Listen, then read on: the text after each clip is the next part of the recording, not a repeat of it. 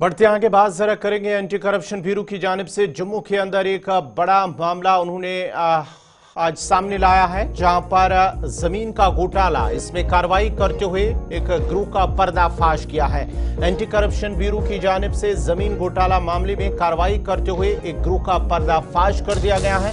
जिसमें जम्मू के अस्त्रबान इलाके में तकरीबन 40 कनाल से जायद की कस्टोडियन अराजी को लैंड माफिया ने कब्जा किया और इसका का, इस ग्रुप का पर्दा बेनिकाब कर दिया एक बयान के मुताबिक एंटी करप्शन ब्यूरो ने इससे कबल भी 500 कनाल से ज़्यादा कस्टोडियन अराजी से मुतलिक घोटाले का पर्दाफाश किया था, जिसकी तहकीकात के लिए पहले ही 15 एफआईआर दर्ज की जा चुकी हैं।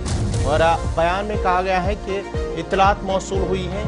केसरवा, मिश्रीवाला और बलवाल जम्मू में कस्टोडियन अराजी को लैंड माफिया ने रेवेन्यू और पुलिस अफसरान के साथ मिलकर धोखाधही से हत्या लिया है।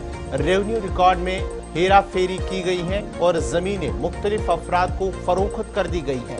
एंटी करप्शन ब्यूरो ने परनाथ देव सिंह पटवारी जो के और उसके साथ साथ राहुल काई, जो कि पटवारी हैं, अकील अहमद नायब तहसीलदार, राजेंद्र शर्मा, वरिंदर गुप्ता, जगदेश चंद्र, मकबूल चौधरी, रेवन्यू के अफसरान और दीगर के खिलाफ बदनवानी के रोकथाम के कानून यू ए पी ए मुजरमों, मुजरमाना साजिश धोखाधही जालसाजी और मुख्तलिफ़ दफात के तहत दर्ज किया केस, जिसके बाद ही तहकीकात की गई हैं और तहकीकात जारी हैं।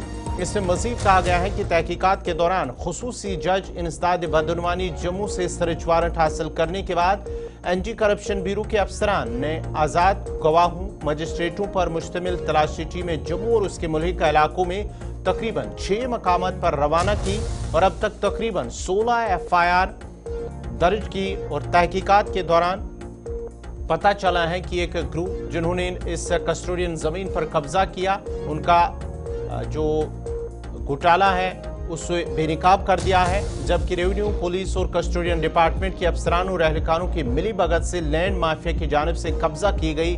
बाकी मादा ज़मीन का पता लगाने के लिए तहकीकात जारी है।